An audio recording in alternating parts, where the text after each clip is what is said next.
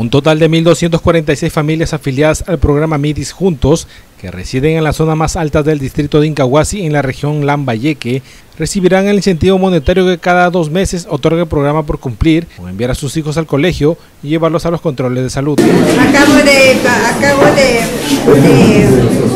cobrar mi incentivo económico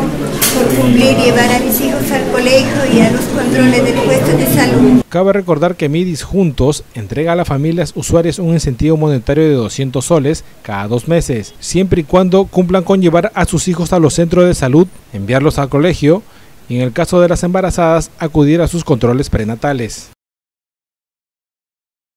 Es así que el día de pago es una fiesta porque las usuarias quechohablantes invierten su dinero en la compra de animales de corral o satisfacen otras necesidades relacionadas con la salud y educación de sus hijos e hijas.